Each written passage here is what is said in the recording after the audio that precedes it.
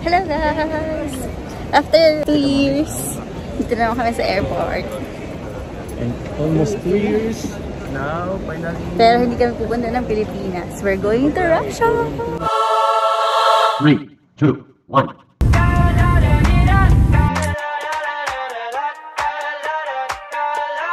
Welcome to Russia. I got my head out the sunroof. I'm blasting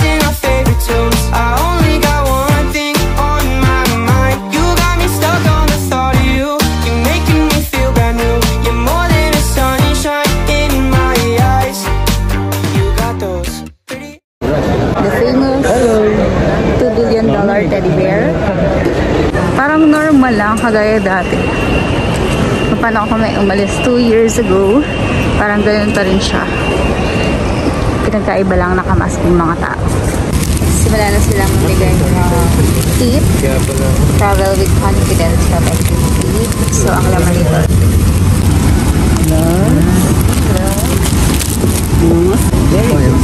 Ang sanitizer. Nagbigay kami sila ng headset. For entertainment, we are here in economy class. May binigay silang help for in Russian and English.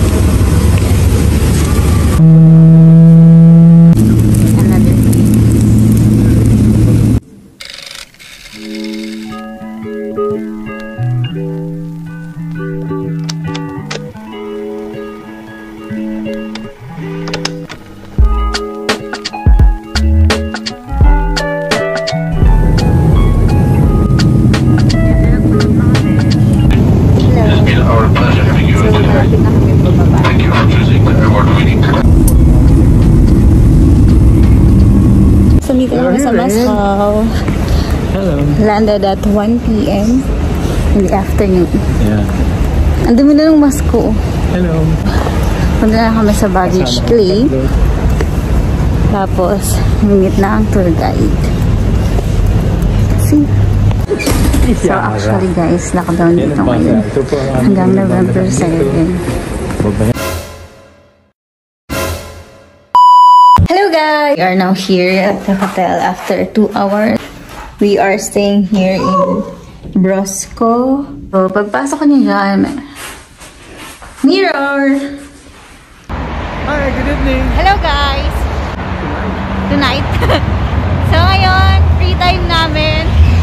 Wala pa kaming tour kasi bagong dating kami. So, maglalakad-lakad muna kami ni Daddy dito sa city center daw.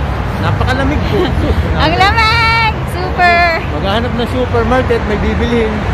Grabe, pag hinawakan mo ang ah, jacket, talagang parang may yelo itong hinaaking damit.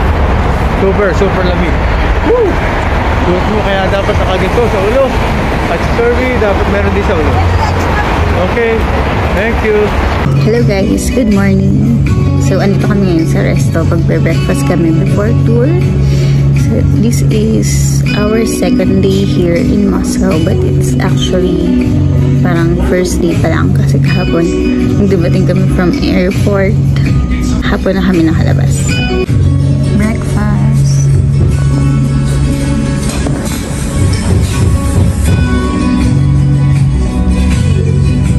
Hello, good morning. Morning. So, we are going out now for our city tour. Nandiyan na yung aming tour guide. Hello. Hi. My name is Veronica and we are passing the great experience ever in our life. The top. Kutuzov, yes, it is our great commander which was fighting. So, what is written here? This is written to the heroes of the First World War. Героям Первой мировой войны. Добро, Добро пожаловать.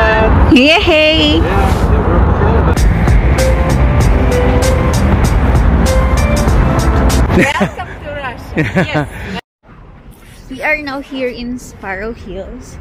So, usually, ito raw yung one of their panoramic spot dito sa Moscow. Kaso, since it's foggy, we can't see anything. Okay, so punta daw muna kami dito sa Seven Sisters yata.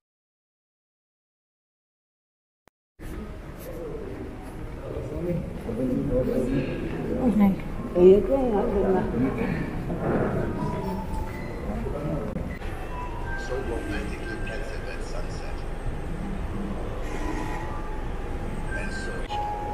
So right now, andito kami sa Radisson Blue and andito yung diorama ng Moscow City.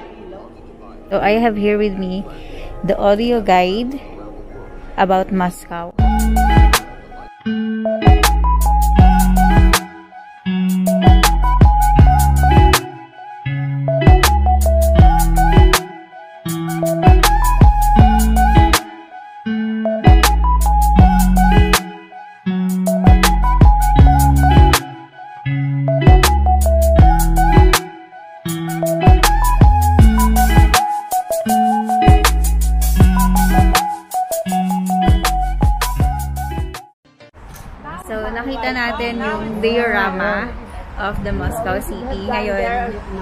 Pupunta naman tayo sa Christ the Savior Cathedral. So, the diorama is located here in Radisson Blue. So, dyan kami pumunta nung nanood kami ng diorama. Wala siyang bayad, guys. Ito daw muna kami dito.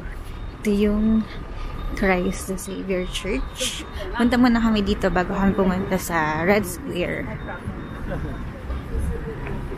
Sure? Bawal daw ang picture. Guys.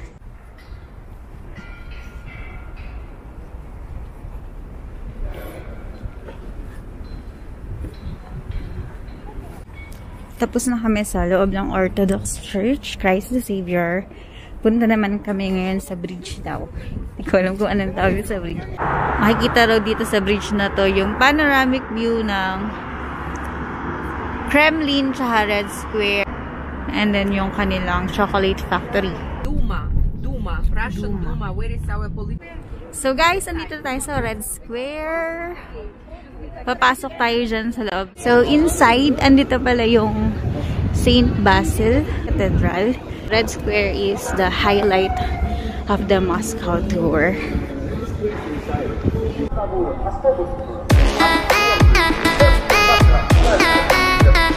Then this is the mausoleum according to the tour guide.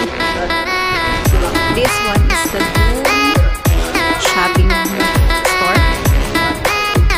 Then that one in the middle, yung St. Basil Cathedral. Siya yung famous dito. Kakagaling lang namin sa PCR. After ng Red Square, ng PCR muna kami para bukas pag alis namin at Murmansk, meron na. Dito kami ngayon sa isang resto para mag-lunch. Di pa kami nag-lunch, mag-3 o'clock na. Котлеты с голубцом в одну штуку. Но это слишком много просто будет контейнеров. В одну, Russian в одну, food. пожалуйста, положите две котлеты и голубец в одну э, коробочку.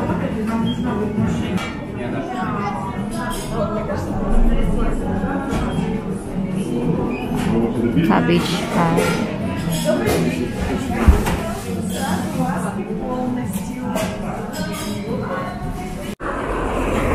Right now we are heading to the Catholic Church. The oldest one we have only one because one uh, another one is a small church. Ah.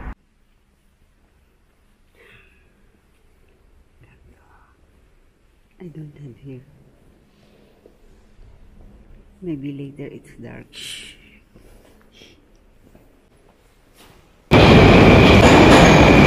Mami! Down to our last stop. We're going to have a metro tour. Ang Daw has the most beautiful metro station sa buong mundo. Naisip daw na gumawa ng metro station na gawing parang palasyo para sa lahat ng tao metro station. Будьте вежливы. Уступайте места инвалидам, пожилым людям, пассажирам с детьми и беременным женщинам.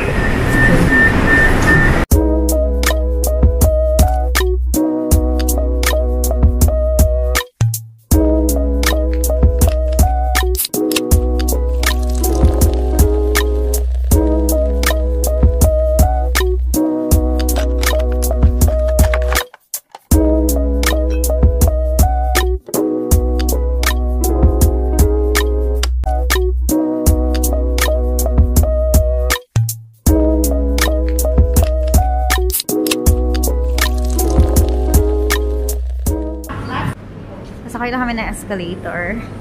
Papakita ko sa inyo kung gaano kalalim yung escalator dito.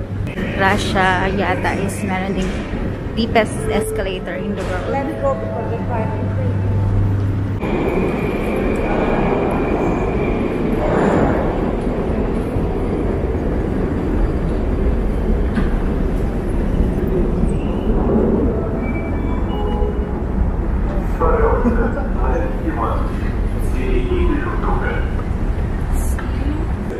Wow guys, look at that.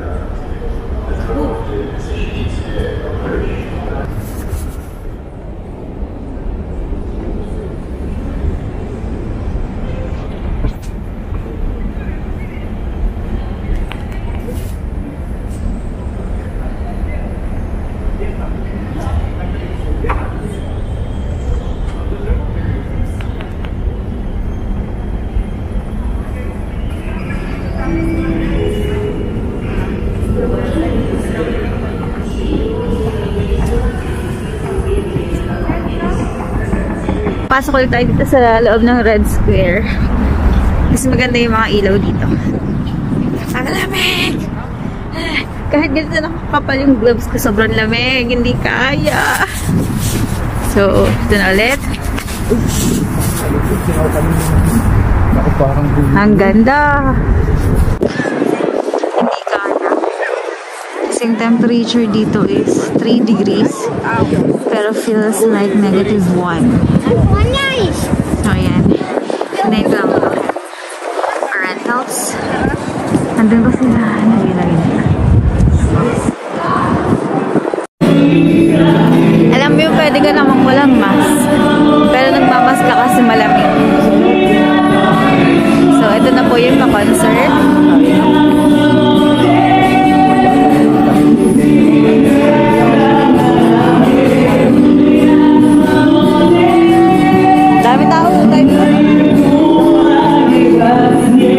Pupunta kami ngayon sa Anteca. Anteca is pharmacy. So, yun. Anteca. Hi guys. Last day na namin leave. Ngayon, nandito kami sa bangko. Si mami lang pala. Nagpapapalit ng pera kasi wala na kami uh, ruble. So, ngayon, last day, magsisiki tour muna kami bago pumunta sa airport. Dito na tayo sa Videnha Park. Ang basketball doon is VDNH. So, Viden. Videnha pala siya. Yan na. Nakita siya ng helicopter. Magkakwento na naman siya tungkol sa helicopter. So, ganyan siya kalaki yung Videnha Park. Tapos, dito, yan daw yung first rocket na nakapunta sa space. Tapos may sinasabi siya na ito daw yung first plane, pavilion of transportation. Ito yung sa space. Sa space. Kami dito sa Space Museum. I-check namin kung pwede kami makapasok. Kasi yung QR code dun sa isa, hindi maskan. So, try namin dito. So, ayan, success mga besh. Tinanggap yung QR code na. Samahan niyo ako mag-explore ng Space Museum.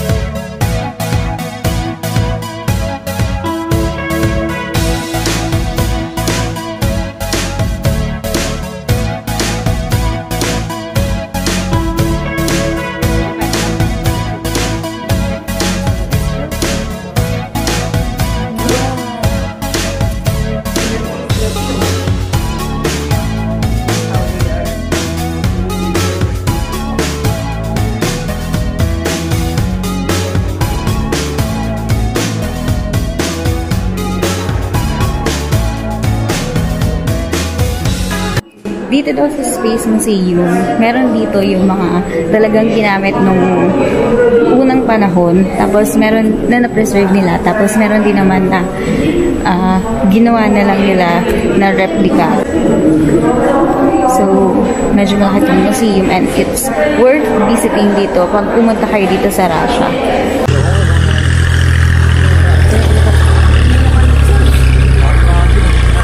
We now in Islamabad. Islamabad Kremlin. Hi everyone. So, andito tayo ngayon sa Islamabad Market. It is a 2003? new Kamen building, Ah. copy of the big Kremlin. So, this is uh, totally market. No, no, no, it's not the market. It is like the residency where uh, you will find different kind of museums, like a bread museum, like a museum of a nestling dolls, like the souvenir shops, but they are closed. This one looks like a fairy tale. Yeah, yeah, yeah. It's like in the fairy tale. Nice. Hi